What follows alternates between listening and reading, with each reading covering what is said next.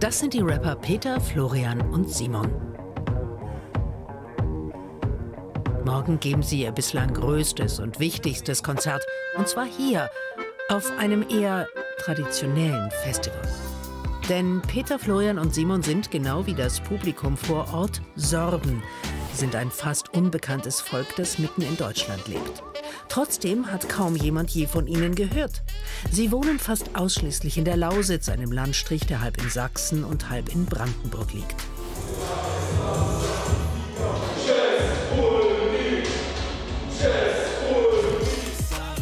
Die Jungs rappen auf Sorbisch.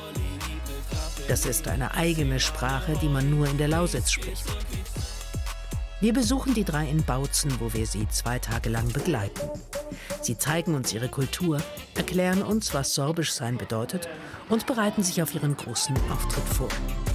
Wird Rapmusik da gut ankommen? Immerhin gelten die Sorben als sehr traditionell. Sorbische Kultur wirkt auf den ersten Blick eher rückwärtsgewandt.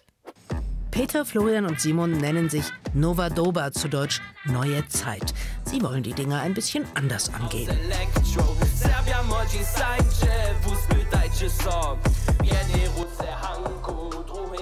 Ich würde es ganz gern mal versuchen, automatisch zu übersetzen.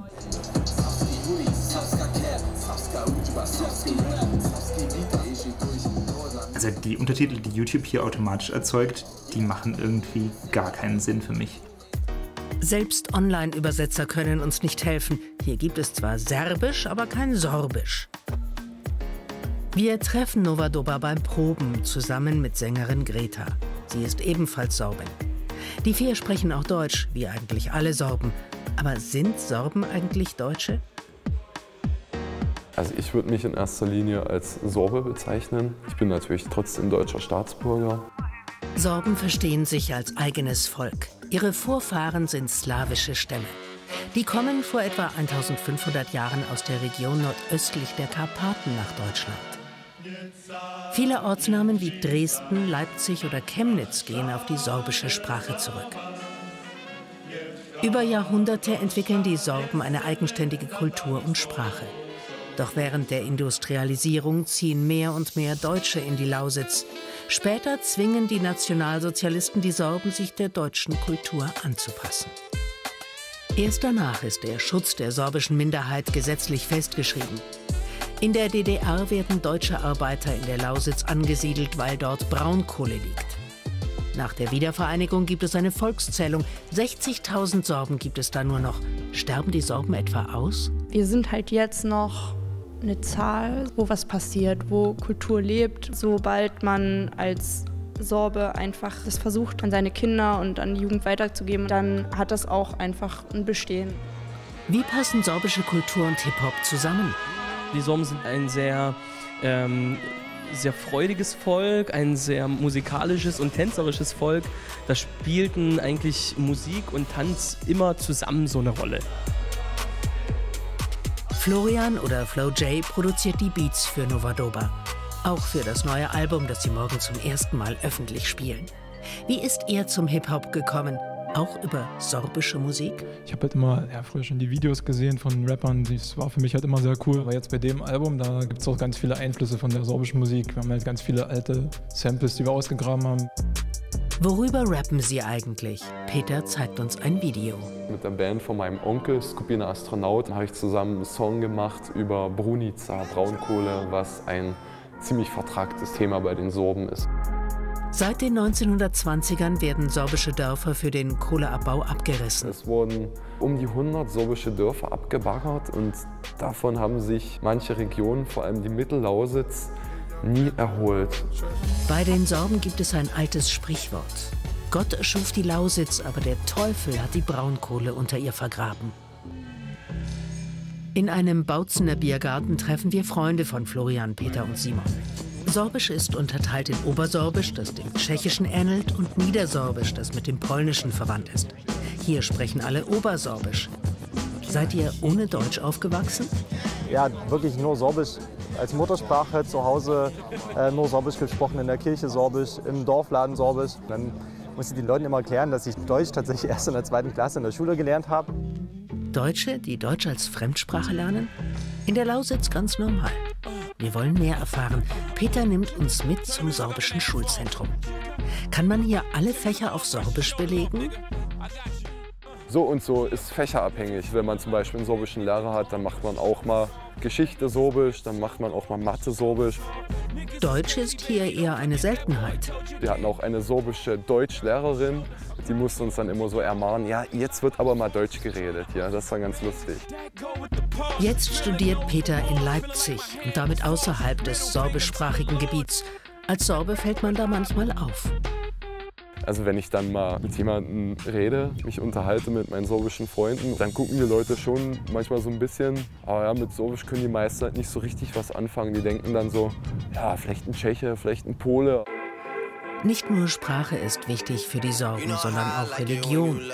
Rund um Bautzen sind die meisten Sorben Katholiken, auch Peter. Bei uns ist schon der, sag mal, Anteil derjenigen, die auch wirklich aktiv ihren Glauben leben, wahrscheinlich höher als anderswo.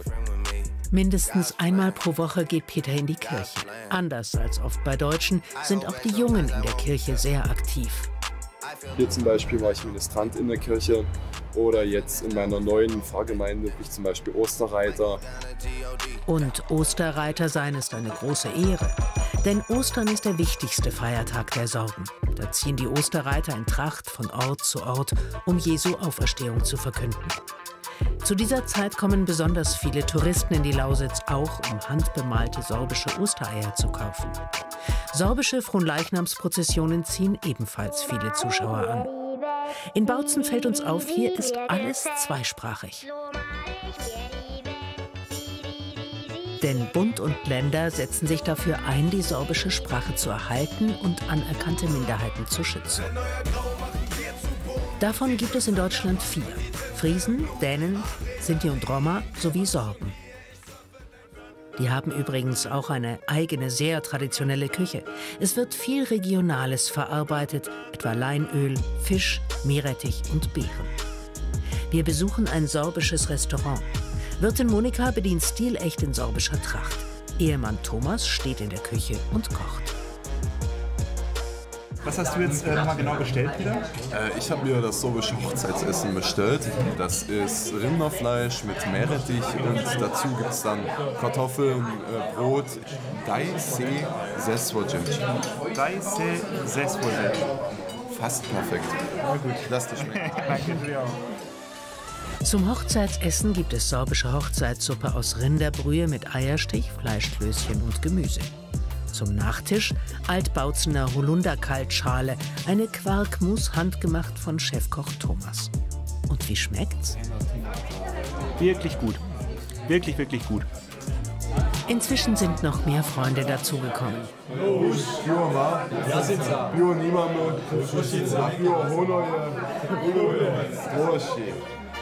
Matthias versteht nur noch Bahnhof. Am nächsten Tag fahren wir nach Krostwitz, ein kleines sorbisches Dorf außerhalb von Bautzen. Überall stehen sorbische Kruzifixe. Wir sind etwas früh dran. Hier findet später die größte sorbische Party der Welt statt. Von der Atmosphäre ist es wirklich ein genialer Abend. Das ist etwas ganz Wichtiges, also äh, das ist der Höhepunkt. Da kommen sehr viele Leute zusammen. Die sind alle wieder da, jung und alt.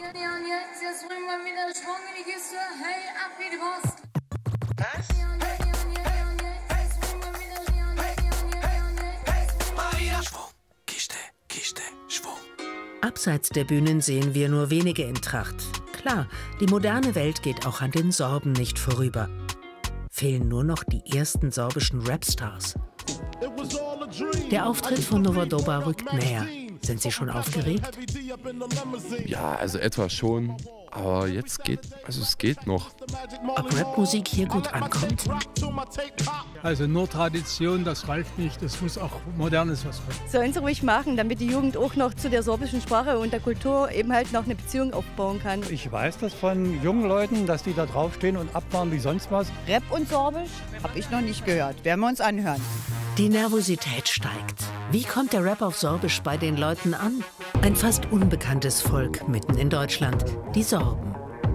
Damit ihre Kultur nicht ausstirbt, wollen Peter, Florian und Simon die Jugend mit ihrem Rap auf Sorbisch für sich gewinnen. Rap und Sorbisch habe ich noch nicht gehört. Werden wir uns anhören.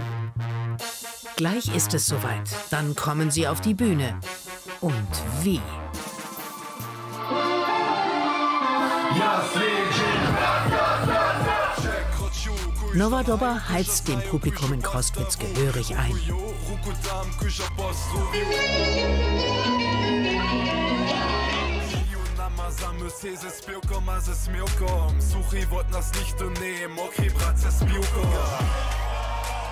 Geschafft. Der Auftritt war ein voller Erfolg.